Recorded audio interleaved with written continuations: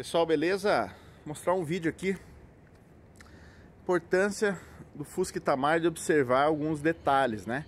Esse aqui é um Fusca Itamar original, 94 Luxo 2. Eu vou mostrar algumas particularidades da mecânica dele. Esse aqui é um motor original. Fusca Itamar na época, ele, é, é, ele já entrou naquela lei de controle de emissões, né? Onde era obrigatório você ter um catalisador aqui na carburação e você ter é, é, controle de emissão de gases. Então, Fusca Itamar original, tá, gente? Mecânica original. Ele tem um sistema Termac, que é aqui, ó. Tá vendo? Tá ligado aqui, ó. Um sistema elétrico, né?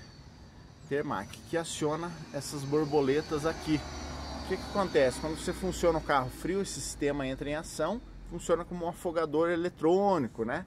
Só que como ele é carburado, esse sistema ele uh, existia nas combis também. Aqui também, na tampa do Fusca Itamar, funciona esse sistema Termac, ó.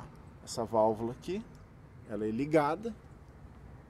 E quando o motor atinge uma certa temperatura, essa janelinha aqui, ela abre.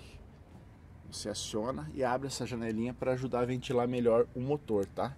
Então o motor original do Fusca Itamar ele é assim, ó, sistema Termac todo ligado, ó, a válvula aqui, deixa eu ver se eu consigo mostrar ali dentro para vocês. Ó, tá vendo? Tem um sensor ali, o fio, o filtro de ar e o sistema Termac. O que acontece muito comum, gente? O pessoal tira tudo isso aqui, tá? Eles desligam tudo isso aqui e aí o carro não fica mais original.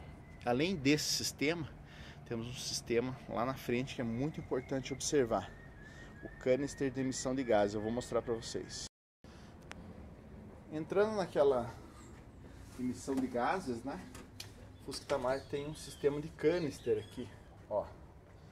Então aqui são ligados no tanque de combustível que vai até lá no fundo e você tem é, os vapores e gases são é, administrados aqui dentro e não fica cheiro de gasolina dentro do carro. É uma outra coisa também que o pessoal desliga tá? o sistema de canister do Fusca Tamar. Isso torna ele um carro que não tem cheiro de gasolina, né? por causa desse sistema aí. Então são é, coisas importantes para você observar no Fusca Tamar, quem está querendo adquirir um, né? Esses sistemas aí. E o sistema do motor lá também completo. Aqui é o Fusca Itamar que está sem sistema, porque ele está com injeção eletrônica.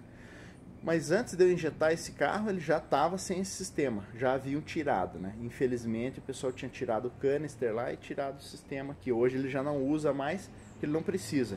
Mas um Fusca Itamar sem esse sistema aqui, realmente é, é, é, é bem difícil, porque ele vai cheirar gasolina, né, e tudo. Então, preze sempre por manter esse sistema aqui.